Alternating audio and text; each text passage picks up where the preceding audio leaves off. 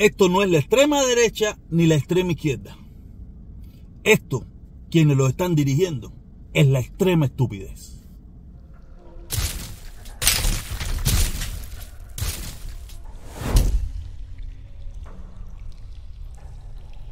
Hoy vengo, eh, ¿cómo es que le dicen a eso?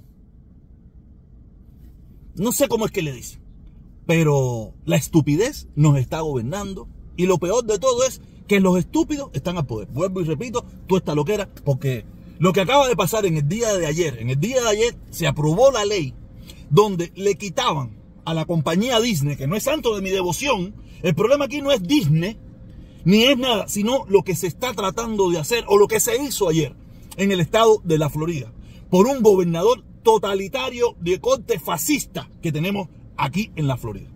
Eliminó eh, un beneficio que tenía una compañía solo.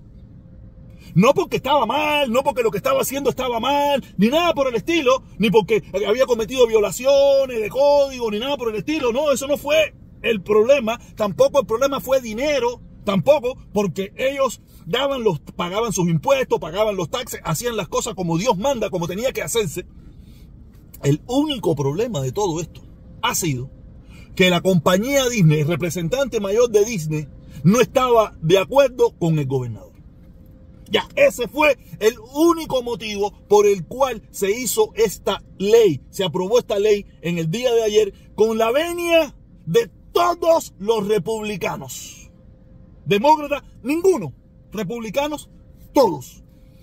Y usted me dice a mí, ¿cómo se perdió la democracia en otras partes del mundo? Así se perdió la democracia, cuando todos se plegaron a la estupidez. Porque ahora yo estaba escuchando que la gente me está justificando que esa ley había que hacerla porque Disney estaba haciendo muñequitos con mariconería y que no sé qué y que no sé qué otro. Oye, control a tus hijos. Disney no es quien tiene que educar a tus hijos. Si a ti no te gusta Disney, no vaya. Si a ti no te gusta la política de Disney, no vaya. Que así es como siempre se ha hecho la política en Estados Unidos. A ti no te gusta algo, no lo consumo. Y cuando mucho, y si logras que mucha gente no lo consuma, esa compañía desaparece. Pero no, por la forma de pensar de una compañía, el gobierno interviene. Eso no es que no había pasado, estoy seguro que esto no es la primera vez que pasa, pero es la primera vez que pasa en el estado de la Florida, o por lo menos que de una forma muy evidente, declarada por ellos mismos, por los republicanos, se está haciendo esto. No estás conmigo, te voy a joder. Pero el problema no fue que te jodió, el problema no fue si te jodieron, el problema es que Universal, que es otra compañía completamente diferente, también tiene esos beneficios y no se tocó. Se hizo una sola, una ley específicamente para Disney. Porque Disney dijo que no iba a apoyar más económicamente ni, ni de ningún tipo a los políticos republicanos que estaban haciendo esas leyes barbáricas en el estado de la Florida. Se lo digo, todas esas personas que se sienten mal porque Disney está haciendo, eh, no sé, Disney no es la, la, escuela, Disney no es quien tiene que educar a tus hijos. Hágase responsable usted de sus hijos y no deje y no ponga más en su casa y no le permita más que sus hijos vean esas cosas. Usted no está obligado a ver eso. Si en caso de lo que usted está diciendo sea verdad, si en caso de porque usted para, para que usted sentirse bien, sentirse bien de cómo estamos llevando, cómo estamos acabando nueva, estamos acabando en Estados Unidos con la democracia. Si usted por sentirse bien, por ver cómo se destruye la democracia, empieza a justificar que se debería hacer porque Disney tiene unos muñequitos donde sale una escoba y un gato besándose en la boca. Por eso lo digo. Aquí está gobernando la estupidez y los estúpidos a su alrededor. Si eso para usted es la única justificación que tiene para, para que el gobierno intervenga en la propiedad privada. Oye, lo que nos falta, ya normal, yo, yo esto, esto usted lo, usted, usted lo estará viendo hoy, pero yo lo vengo diciendo hace mucho rato. La democracia en Estados Unidos está en el, no en el principio del fin, está en la mitad del fin. En la mitad, ya el principio del fin, eh, en, el, en el principio de empezar. No, no, no, no. Nosotros estamos en la mitad. Y estamos viendo cómo mucha gente está viendo con buenos ojos cómo se acaba con la democracia en los Estados Unidos. Lo están mirando ahí, hay bumbata, míralo. Y, y, muchos de ellos aplaudiendo. Hay quien dice, no, que la mayoría. No, mira, tú no te puedes guiar por la mayoría. La mayoría de los cubanos en el 1959 aprobaron, apoyaron a Fidel. Y la mitad de esos que apoyaron a Fidel en el 1959 son hoy llamados el siglo histórico, anticomunista, anti no sé qué coño. Y son esos. Y muchos de ellos apoyaron a Fidel. ¿Cómo llegó Maduro? ¿Cómo llegó Maduro? No, ¿cómo llegó Chávez al poder? Con el apoyo de, mayoritariamente del pueblo venezolano. ¿Cómo llegó Hitler al poder? Con el apoyo mayoritario del, del pueblo alemán. Quiere decir que a veces las mayorías también se equivocan. Pero el gran problema de la democracia no es si las mayorías, sino que las minorías también pueden convivir. Esto no es el problema de que la mayoría tiene que pisar a la minoría. No, no. El, problema es que estamos invirtiendo. ¿Qué cosa quiere decir de la democracia? La democracia es donde los, las minorías conviven sin ningún tipo de problema con las mayorías y pueden tener su opinión y tienen los mismos derechos. Ese es el verdadero kit de la democracia, no es la mayoría. Eso de, de, que la mayoría manda, eso es de la dictadura. Eso es lo que usa la dictadura para pisar a la minoría que no está de acuerdo con ella. Y eso es lo que mucha de esta gente que salieron huyendo de sus países, de nuestros países, por eso mismo, porque una supuesta mayoría, supuesta mayoría, acuérdate que le vengo diciendo que son los simuladores, en el caso Cuba, era lo que decía el gobierno que los representaban a ellos y que esa minoría, esa pequeña minoría que, que, no estaba de acuerdo con ellos, debería ser eliminada. Y muchos de nosotros levantamos la mano, incluyéndome yo. Porque fue la manipulación que nos metieron por la cabeza. Y esa es la misma manipulación que nos están metiendo ahora mismo aquí.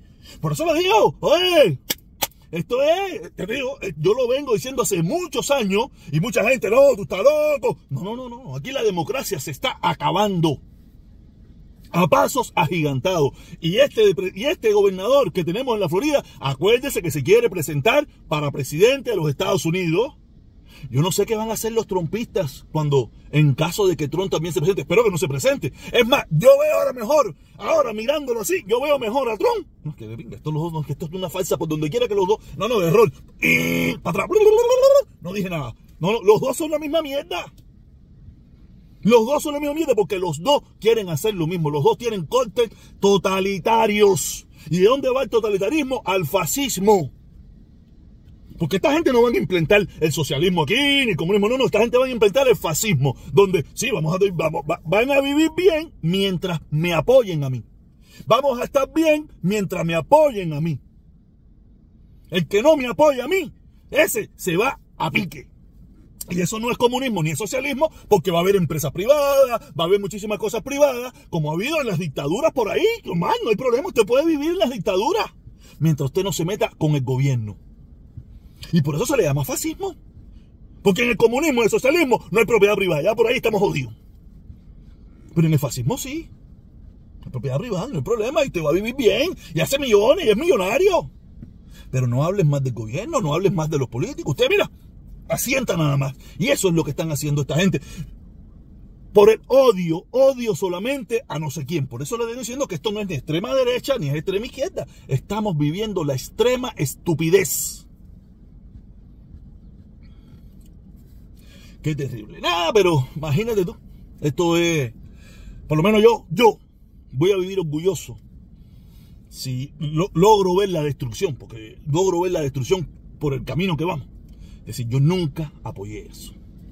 ¿Te acuerdas tú, fulanito? ¿Te acuerdas tú, menganito, que usted era trompista? ¿Te acuerdas? Ahora, ah, ahora te fuiste en una avanza y tu nieto se tocó en el mal, o tu nieto lo cogieron preso la policía por no estar de acuerdo con el gobierno. Ah, mira, a tu, a tu, a tu hijo, a tu hijo le metieron tres tiros porque la, dictadura lo fusiló. Ah, ahora. O tú no te recuerdas. ¿Quieres buscar los videos cuando tú salías a apoyar a Trump con la bandera? Trump no es el que lo está haciendo ahora, pero Trump fue el que creó las bases para lo que tú estás sufriendo hoy. Y tú lo aprobaste. Y yo te lo dije en aquel momento que es una locura. Pero eh, así son las cosas. Y antes de terminar, antes de terminar, quiero, quiero hablar sobre algo que me mandaron ayer. Me mandaron ayer, hoy lo, vi por la mañana. Una entrevista, no sé, no sé de cuándo es la entrevista. Sé que me la mandaron hoy y la vi hoy. Vi el pedazo hoy, ¿no? Donde el mundo García estaba hablando. yo sigo siendo eh, referencia. Yo sigo siendo una una, una persona, al, cuando se habla de los puentes de amor y todo eso, tiene que hablar de mí, obligatoriamente. Sin mí, sin mí eso no existe, quiere decir.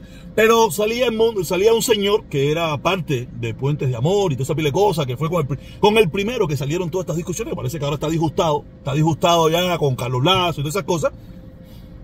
Y se fue al canal de, de Mundo García a, a, a, conversar, a hablar, a hacer una entrevista, ¿no? Hablar de mí, hablar de mí. Hicieron fue hablar de mí. Pero el mundo García, que, se dice ahí que fidelista, mira, fue el mundo García. Yo me resingo en la resinga de tu madre, de Fidel, de Raúl, de Díaz Caneri, de todos los cingados que diría en Cuba. Yo no tengo que rendirle pleitesía a ninguno de esos cingados, ni a ninguno de ellos, ni a nadie. ¿Sabes quién yo le tengo que rendir pleitesía? A mi mamá, a mi papá que está en el cielo, mi hija me tiene que rendir pleitesía a mí y esas cosas. Lo demás, a mi familia, misma familia. Y a, esa, a la gente que yo le tengo cierto aprecio. Si acaso son los únicos que le tengo que rendir pleitesía. Si tú le quieres rendir pleitesía a un dictador, criminal y asesino, ese es tu problema. Esa es tu decisión y tu problema. Pero también quiero decir, porque te vi que estuviste un poco excitado hablando más de mí, eso que no hay problema. Tú vienes hablando de más de mí desde el primer día. Porque yo, de una forma u otra, cuando he logrado cosas que usted no ha logrado jamás en la vida, porque usted no ha logrado nada en el mundo del Usted no ha logrado nada. Usted lo único que ha sido es hablar mierda. Hablar mierda, uno más de los habladores de mierda que hacen aquí en esta ciudad. Tú sabes.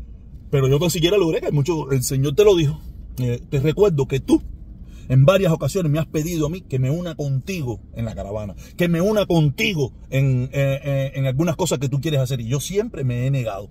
Siempre me he negado a unirme contigo en todo eso porque tú para mí no, te tengo aprecio por, ser, humano, más nada que eso. Porque eres un ser humano. Y a los seres humanos los respeto. Pero no te quieras hacer ahora el, el, el, bárbaro de la película, que tú en muchísimas ocasiones, a sabienda de cómo yo pienso, a sabienda de cómo yo soy, a sabienda de todo lo que yo digo, usted me pidió a mí que me uniera en tu caravana, usted me pidió a mí que me uniera en su lucha en contra de Lazo, usted me pidió a mí, usted me ha pedido a mí todo lo que usted ha necesitado. Y yo siempre le he tirado la puerta en la cara, porque en definitiva usted para mí es un mierda, un cagá y un tipo que no sirve para nada. ¿Entiendes? Esa es mi opinión que yo tengo de ti. Te respeto como ser humano, fuera de ahí para más nada. Porque apoyar, defender a un dictador, asesino, criminal, que ha destruido un país, que ha destruido a, una, a una raza, a la raza cubana, para mí no merece perdón de Dios. Pero yo que soy una buena persona. Yo que soy una buena persona. Tan siquiera te respeto. Por ser humano, no por más nada. Porque usted, ya te lo digo, usted aquí no ha logrado nada. Usted lo único que ha hecho es hablar. Yo. Tu molestia es que yo hice lo que usted jamás ha hecho. Usted aquí no ha convocado nada, usted aquí no ha movido nada, usted aquí no, le, usted aquí no ha empujado a nadie. Usted aquí ha sido un utilizado más de la dictadura y ahora usted se quiere beneficiar de la dictadura. Con un poco de tontos que defienden la mierda esa que tú defiendes. Solamente quería decirte eso. Te recuerdo. Hoy yo soy todo eso que tú dijiste en ese programa. Pero te recuerdo que hasta los otros días, hasta ayer, eso no fue hace cinco años, cinco meses atrás, cuando Puente No, no, no. Cuando usted me pidió a mí que lo apoyara en esta caravana que usted quiere hacer con, lo que pique el Publi. Usted me pidió a mí que, lo, que lo apoyara en lo que viene siendo eh, eh, esto sobre eh, la, lucha contra Lazo. Usted me ha pedido a mí todo eso, a sabienda, como yo pienso, del cingado, asesino, dictador de Fidel Castro. No sea hipócrita. Viejito loco. Ok, caballero, nos vemos. Recuérdense que aquí estamos gobernando la extrema estupidez. Ahí tenemos un gran ejemplo de un gran estúpido.